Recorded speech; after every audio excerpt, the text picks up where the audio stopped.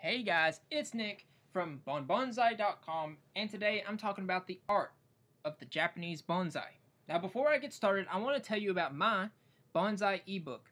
If you're interested in learning how to prune, trim, and sculpt an, uh, a bonsai, then make sure you visit the link above, which is bonnebonsai.com forward slash bonsai book.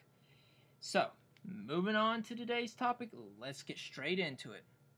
The Japanese refined and developed bonsai techniques and evolved the art form into what it is today.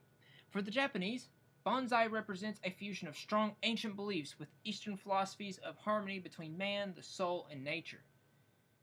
The major aspects of the Japanese bonsai has not changed significantly over time.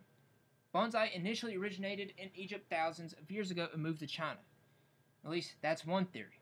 From China, bonsai moved to Japan, where the Japanese perfected the art of the bonsai. Japanese use azaleas to create magnificent bonsai following years of pruning, wiring, and careful attention. The Japanese art of bonsai and its precursor, the Chinese art of penjing, are rooted in the traditions of Asian culture. The art of raising bonsai dwarfed potted trees has enabled the Japanese to admire nature in an indoor setting. The art of bonsai, as developed in America, is much freer in concept and style than Japanese bonsai. The quality of a bonsai tree is measured on how well it portrays nature in miniature form. A bonsai should have a well-tapered trunk and have branches all around the tree to give the bonsai visual depth. The art of bonsai involves the bringing together of tree and pot in visual harmony. Bonsai simply means potted tree, but many of the really fine specimens have been pruned for more than 100 years. Requiring many years of devoted attention and care to produce, the bonsai extends beauty and expresses the significance of life.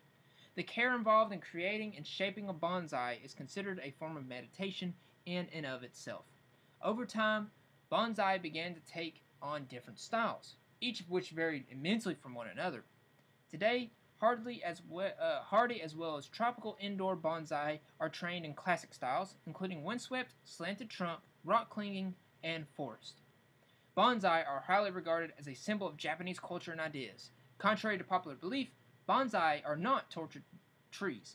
A bonsai may have areas of dead wood to give an, an impression of age. There are several techniques available to the bonsai grower to increase the apparent age. No longer exclusively an oriental art form, today bonsai is practiced by thousands of people around the world on every continent. The art of bonsai is the art of imitating the spirit of nature. A bonsai industry of considerable size exists in certain sections of Japan. that's all for today.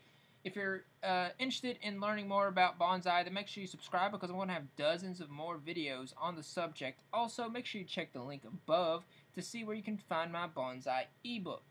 So, I'll be seeing you in the next video.